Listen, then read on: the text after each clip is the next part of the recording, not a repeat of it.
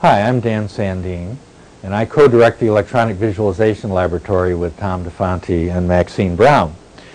And our work in the last couple of years has been centered on tele-immersive systems, has been centered on a combination of virtual reality and networking to allow people in remote, remote locations to share a three-dimensional experience, share a three-dimensional model, and see and talk to each other, whether they're in the next room on two iDesks or whether they're on opposite sides of the planet. The video avatar work that we've been doing here uh, uses a very simple concept of taking video images, uh, cutting them out by a keying process, and properly inserting them in the three-dimensional scene relative to the rest of the environment so that you can see their relationship, you can see their gestures, um, and you can see expression and body language. Uh, the most commonly used avatar is the puppet avatar, and indeed that's used routinely at EVL, and does communicate several important things like where you are relative to the model and a certain amount of gestural information, at least in terms of where the wand is pointing. But the video avatar communicates much more body language and expression, um, and it's very easy to recognize the person you're talking to. What I'm going to do now is go upstairs and exchange positions with Alex and tell you more about this as a video avatar. Hi Alex, I'd like to tell you a little bit about this 3D scene that we're mutually immersed in. Uh, this is the microscope room, the electron microscope room at Argonne National Laboratories.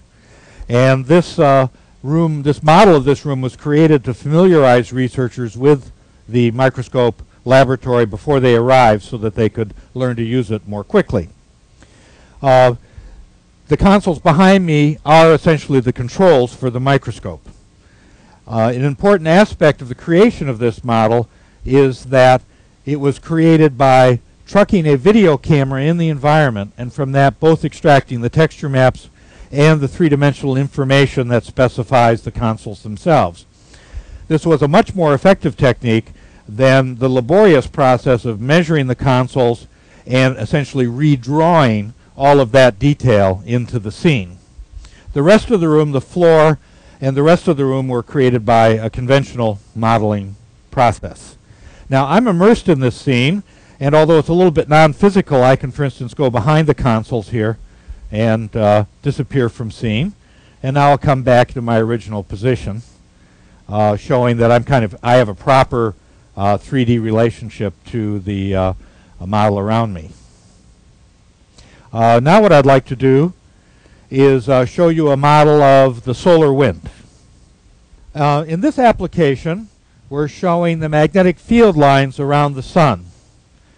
Uh, this large prominence over here um, is essentially a large amount of material being ejected from the sun, which will be traveling towards the Earth.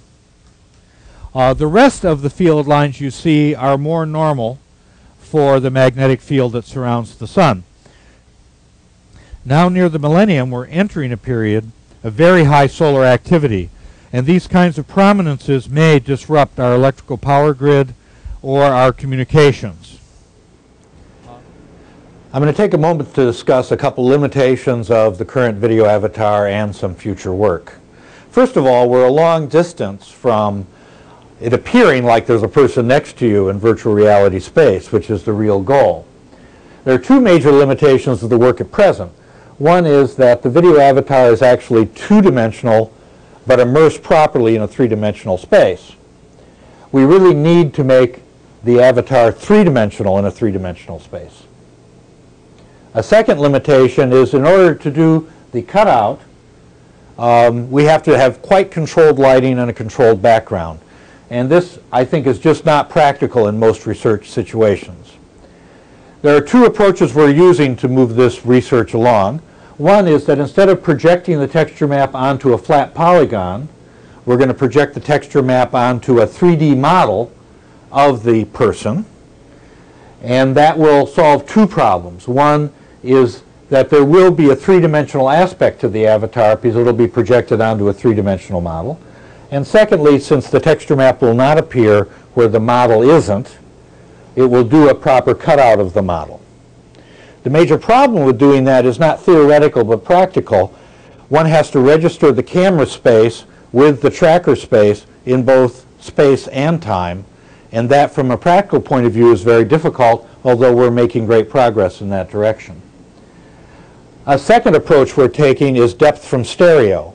By using multiple cameras, we can extract a three-dimensional point cloud of the image and then surface that by a variety of techniques to produce, again, a three-dimensional avatar within a three-dimensional space.